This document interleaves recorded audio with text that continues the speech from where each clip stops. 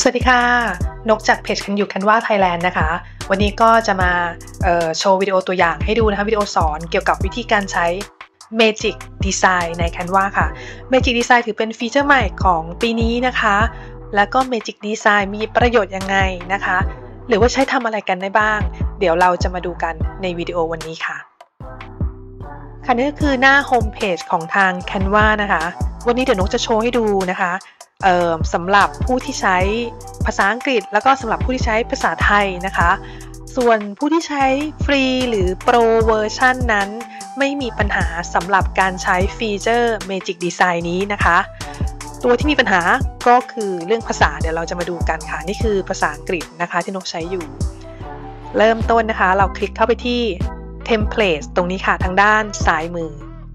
หลังจากที่คลิกเข้ามาแล้วนะคะ เราก็จะเห็นเนี่ยค่ะฟีเจอร์ Magic Design อยู่ทางด้านบนนะคะ ให้เราคลิก Try Magic Design แต่ว่าถ้าเกิดว่าท่านใดก็ตามที่ใช้เวอร์ชันภาษาไทยนะคะ คลิกเข้าไปที่ Template ค่ะ หาไม่เจอนะคะ เพราะว่าเออ Magic Design นั้นไม่มีในเวอร์ชันภาษาไทย แล้วจะทำยังไงดีล่ะ เราก็ต้องเข้าไปเปลี่ยนภาษาก่อนจากภาษาไทยเป็นภาษาอังกฤษค่ะ โดยการคลิกที่รูปไอคอนฟันเฟืองด้านบนที่เขียนว่าการตั้งค่าบัญชีนะคะ ตรงนี้มันจะเขียนว่าภาษานะคะ ให้เปลี่ยนจากภาษาไทยเป็นภาษาอังกฤษค่ะแคนวาก็จะเปลี่ยนภาษาให้เราอัตโนมัตินะคะ ไม่ต้องไปคลิก enter อะไรตรงไหนแค่ คลิกเลือกภาษาเท่านั้นค่ะ แล้วก็เริ่มต้นนะคะ คลิกที่ template ค่ะ เข้ามาแล้วค่ะ ด้านล่างนะคะที่เห็นเป็นเทมเพลตเยอะแยะเนี่ย อันนี้ก็ไม่ต้องไปสนใจมันนะคะ ถ้าเกิดเราจะใช้ฟีเจอร์ Magic Design เพราะว่ามันคือ Canva Template ที่จะให้เราลองเลือกดูว่าเราชอบถูกใจเทมเพลตไหน ถ้าถูกใจแล้วก็คลิกเข้าไป แล้วก็คลิก Customize this template ค่ะมันก็จะเข้าไปเหมือนในวิดีโอที่นกโชว์ก่อนหน้านี้ให้ดูนะคะ แต่ว่า Magic Design ค่ะ ให้คลิกตรงนี้นะคะ Try Magic Design ตัวนี้เป็น Beta เบต้าหมายความว่า ในอนาคตอาจจะมีการปรับเปลี่ยน ปรับเปลี่ยนในเรื่องของคุณสมบัติ หรือว่าออปชันบ้างเล็กน้อยนะคะ แต่ว่าในส่วนของเมนฟีเจอร์ในการใช้งานทุกอย่างยังเหมือนเดิมค่ะ ก็ยังอยู่ในระหว่างขั้นตอนที่ develop พัฒนาให้ดีขึ้นกว่าเดิมนะคะก็คลิก insert media นี่เป็นรูปภาพของนกค่ะ ก็เออเราลองอ่านกคลิกงานนี้ของนกขึ้นมา นี่ค่ะมันก็มีหลาย category ของประเภทของดีไซน์มาให้เราว่าเป็นโปสเตอร์หรือเปล่าไซส์นี้ หรือคุณอยากจะได้ Instagram Post หรือว่าเป็น pin สำหรับ Pinterest นะคะ ก็ส่วนใหญ่ก็จะเป็น Social Media Post นะคะ ก็จะมีหลายแบบ จะเห็นว่า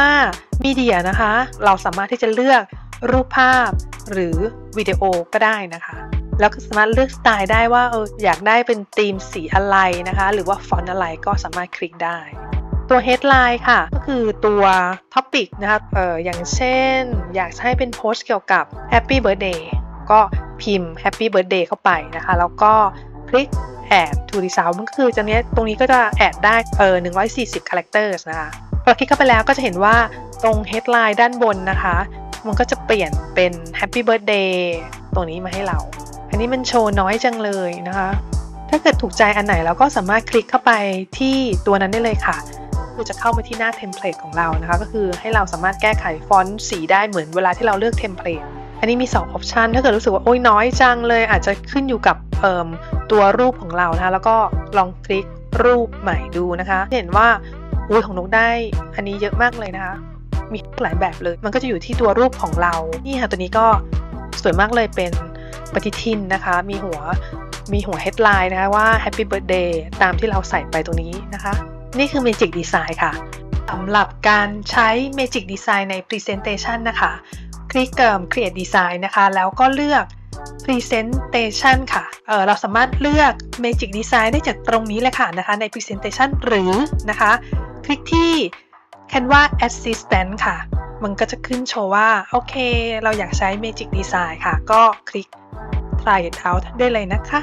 นกขอใช้คีย์เวิร์ดเดิมนะคะ ก็คือ Happy Birthday นะคะ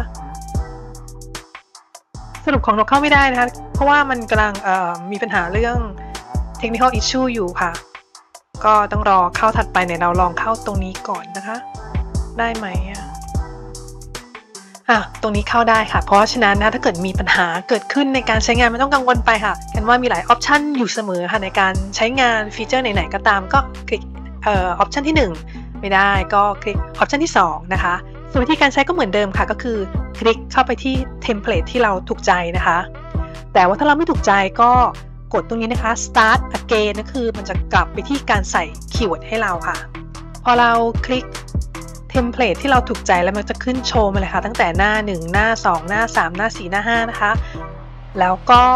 เรียบร้อยแล้วก็คลิก create my presentation ค่ะ มาแล้วค่ะเรียบร้อยนะคะ นี่คือการใช้งาน Magic Design สำหรับ Presentation ค่ะ และนี่ก็คือการใช้ Canva Magic Design ฟีเจอร์ใหม่ค่ะ